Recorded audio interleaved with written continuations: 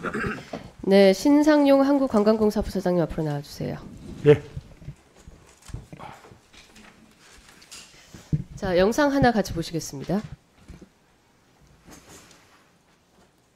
내년에 당장 한국관광공사 파산하게 됩니다, 사장님. 근데 만약에 이거 이자 안 물려주시면 어떻게 하실 거예요? 아니, 내년에 한국관광공사가 파산 위기에 직면하는 일이 없기를 바라겠습니다. 예, 의원님 말씀대로 예, 아, 고민해 갖고 대안을 만들도록 노력을 하겠습니다. 예, 부채 부분에 대해서는 6월에 일단 그 부채 상환 기간은 2028년으로 연기를 했고요. 답 없이 인광이 그냥 미루셨죠? 예, 예, 예, 네, 일단 연장시키고 다음 정부로 이제 다시 폭탄을 돌리셨다는 말씀이네요. 자, 여러분께서는 지금 2020년과 21년 어, 1억 원의 성과급을 받아간 한국관광공사 전임 사장의 어, 찰떡같이 약속하시던 그 장면을 보셨습니다. 사실 오늘 관광공사 사장 신임 사장님께 질의를 하려다가 내역을 잘 모르실 것 같아서 부사장님이 이때 항상 같이 가, 계셨죠? 네, 이 질의 내용 제가 2년 내내 했던 거 잘 기억하시죠? 네 기억하고 있습니다. 다시 요약을 해드리면 DJ 정부 당시에 2001년 한국관광공사가 남북협력기금에서 20년 만기로 900억 원을 대출해서 금강산 관광사업 등 여러 가지 사업을 진행했는데요. 이게 남북 경색 국면이 지속되고 우리 정부 측에서 북한의 관광에 대한 어떤 의지를 계속 밝혔음에도 전혀 응답이 없는 상태로 이게 되지 않으면서 빚이 계속 눈덩이처럼 불어났어요. 그렇죠? 네, 그리고 관광- 네, 2018 마스크 좀 벗어 주시겠어요?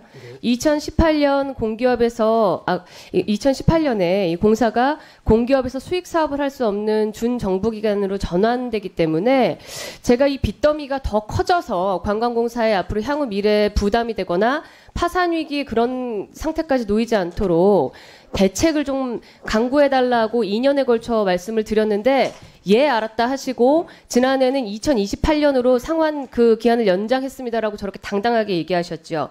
그래서 그리고 떠나셨어요. 그 제가 이번에 증인으로 좀 모셔서 어떤 그간의 노력을 하셨냐, 혹시 부득이한 사정에 의해서 전혀 대책을 마련하지 못하고 사장 임기를 마치셨냐라고 좀 말씀을 여쭈려 했더니 어 절대 이 자리에 못 나오시겠다고 심지어 대체 배현진 의원이 나한테 왜 그러냐라고 그 성토까지 하셨다는 말씀까지 들었는데요. 어, 한광, 한국관광공사가 이렇게 이 그렇긴 해요. 빚이 너무 커지다 보니까 현실감이 좀 떨어진 것 같습니다. 그러니까 속된 말로 하면 거의 배를 그냥 째고 그냥 마무리한 상황인데요. 부사장님께서는 성과 얼마 받으셨어요? 2년 동안? 글쎄 갑자기 저기 성과급 성과급 받으셨을 거 아니에요. 월급 내역을 모르는 직장인은 없으니까 말씀 좀 해보세요. 2년 2년 말씀이십니까? 예, 2020년, 21년 지금 보니까 임직원들 총 뭐 3억 넘게 받으셨다면서요. 한 5, 6천만 원 정도 받았어요. 5, 6천만 원 받으셨어요. 예. 예. 2021년 만기 연장까지는 매년 이 빚더미가 관광공사에 17억씩 늘었어요. 제가 이 그 감사 기간 동안 많은 기관장들이 오셔서 우리 직원들 처우 너무 안 좋고요. 월급 상황 너무 안 좋은데요. 단 1억이라도 좀 예산 늘었으면 좋겠습니다라고 해서 읍소하시는 장면을 너무 수도 없이 봤는데 관광공사는 이렇게 공사의 빚더미가 늘어나는 와중에도 임직원들이 그렇게 성과급 잔치 하셨어요? 대단하시네요.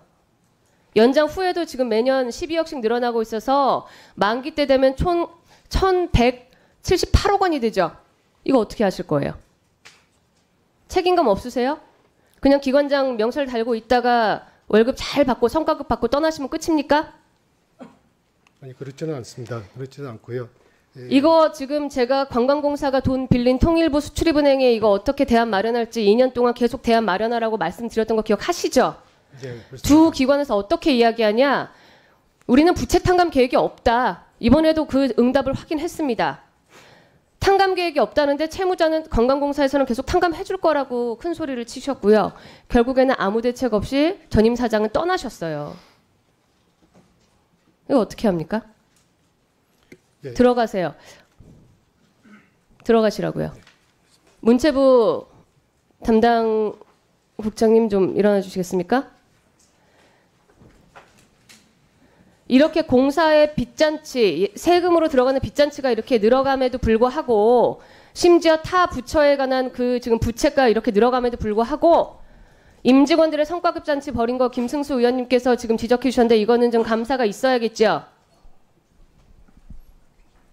뭐 규정에 규정에 따라서 한번 살펴보겠습니다. 예, 면밀히 조사하십시오. 마지막으로 관광부서 사장님께 당부 말씀드리겠습니다. 네. 예, 기가 차시죠? 1178억 원 한국관광공사가 지금 수익 사업도 안 되는데 갚을 수 있겠습니까? 참 예. 충격적인 얘기지만 이제 관광공사가 선택할 몫은 제 생각에는 개인적인 소견으로는 파산과 회생 절차라고 생각합니다.